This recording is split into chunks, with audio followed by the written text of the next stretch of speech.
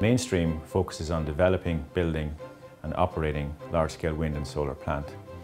Since the company was formed in February 08, we've expanded in eight countries and we now have a pipeline of 14,000 megawatts of projects. And to put it into perspective, Ireland's electrical grid has a peak demand equivalent to about 5,000 megawatts. Now in Europe, our projects are all offshore wind. Outside of Europe, we are in South Africa, in Chile, in the US and Canada. And in those four countries, our businesses, onshore wind and solar. It's a very entrepreneurial culture where innovation is prized above everything else.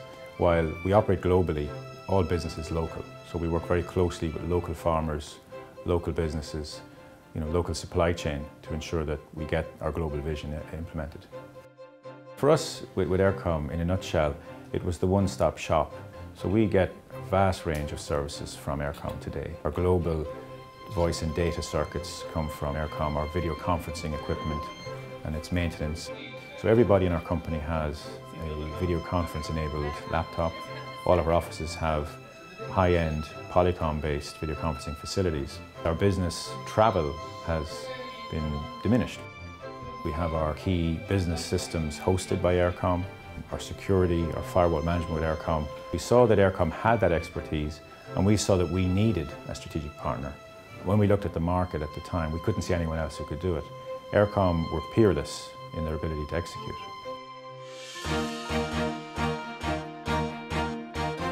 As we've grown, our demands have grown.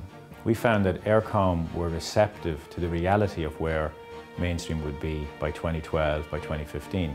So Eircom could see the strength of the strategic argument and then, if you like, front-loaded the effort on, on the design and the strategic partnering. So we saw that in a way that was refreshing. We hadn't seen Eircom's competitors behave like that.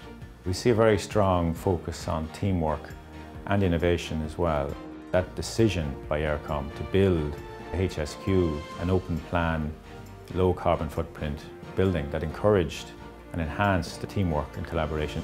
In dealing with Eircom, we see people who get that, they understand that. You know, they're always coming up with innovative solutions. So that entrepreneurial spirit seems to be alive and kicking in Eircom. There are many theories on how best to do disaster recovery.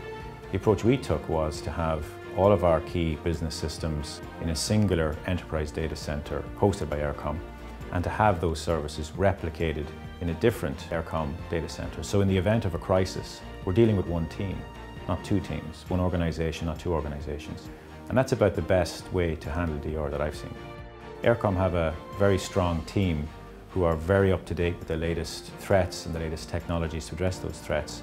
Partnerships with the various uh, software and hardware vendors are exemplary. So there was very much a sense that Eircom could provide us with a service that we couldn't match internally, not in terms of quality nor in terms of price. I think what we've achieved is faster, better, simpler and indeed cheaper deployment of IT services. Strategic partnerships in IT are the way of the future and Eircom understand that. Eircom, when given the opportunity, can provide an integrated set of services that's very difficult to beat on price or quality.